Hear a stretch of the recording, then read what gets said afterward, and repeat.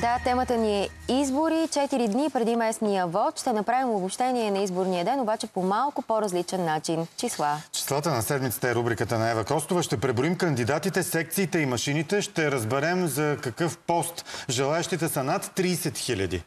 Къде няма нито един. И защо в неделя очакваме рекордно скъпи избори за рекордно малко избиратели. Числата на седмицата. От Ева Костова сега. Еве, ти си. Добро утро! Малко над 6 милиона души. Толкова са поканени да се отправят към урните в неделния ден. Ако сравним броя на избирателите с същия от преди 4 години, когато за последно страната ни бяха проведени местни избори, тогава те бяха с 200 хиляди души повече. От тях правото си на глас упражниха близо половината.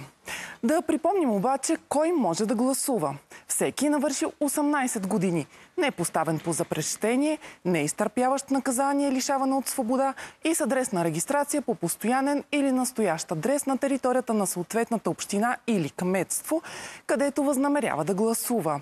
Ако адресът е настоящ, то трябва да бъде такъв от поне 6 месеца.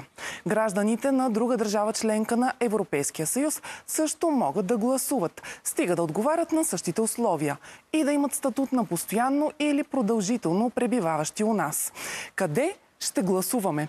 На разположение на избирателите от точно 7 часа в неделя ще бъдат малко над 12 200 секции.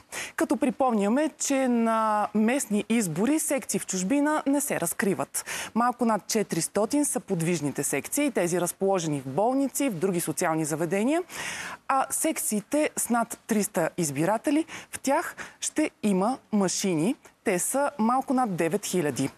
Там сами ще избираме как да гласуваме, дали с машина или с хартияна бюлетина.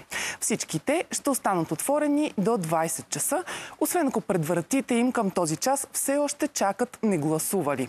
Тогава изборния ден на съответното място ще бъде удължен с още един час.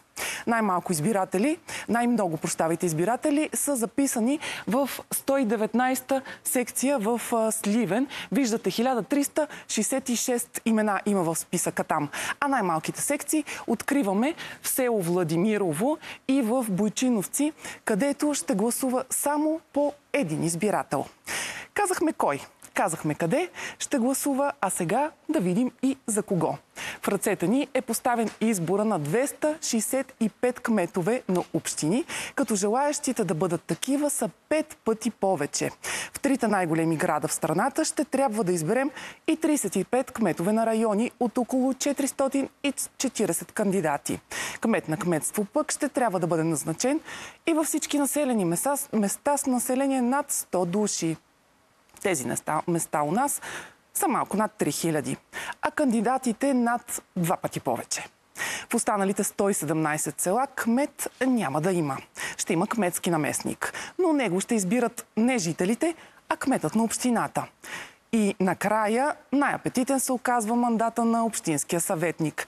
Над 30 000 души ще се борят за такъв, въпреки че свободните места са едва малко над 5000. Между тях има и 10 чужденци, граждани на страни в Европейския съюз. В съветите най-малките на най-малките общини ще има по 11 души, а в този на столична община, който е и най-големият, 61. За да може даден претендент за кмет или общински съветник да се кандидатира за такъв, той трябва да е живял най-малко последните 6 месеца в съответното населено място. Една трета от всички кандидати, за които говорихме до сега, са жени, а две трети – мъже. Кандидатските листи на всички 58 партии и 9 коалиции са налични на интернет страницата на всяка общинска избирателна комисия. Областта с най-много общини е Софийска с 22. Най-малко 4 има на териториите на областите Габрово и Сливен.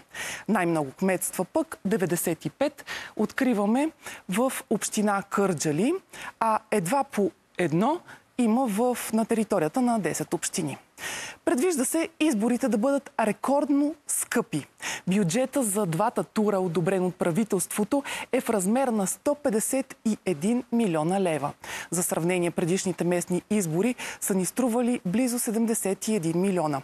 Тук обаче правим уточнението, че тогава гласуването се осъществяваше само с хартия на бюлетина, а в предстоящия вод ще се използват и машини най-дълги, около 60 см, ще са бюлетините за общински съветници в столична община, тъй като там и кандидатите са най-много. А най-дългото име на коалиция ще видим в Димитровград. Състои се от цели 318 символа. Любопитните факти продължаваме с информация за адреси на къща, апартамент или дори поле, които, поне на теория, приютяват стотици избиратели. Най-фрапантен е случай от Стамбулийски, където според списъците една къща обитават повече от 600 души.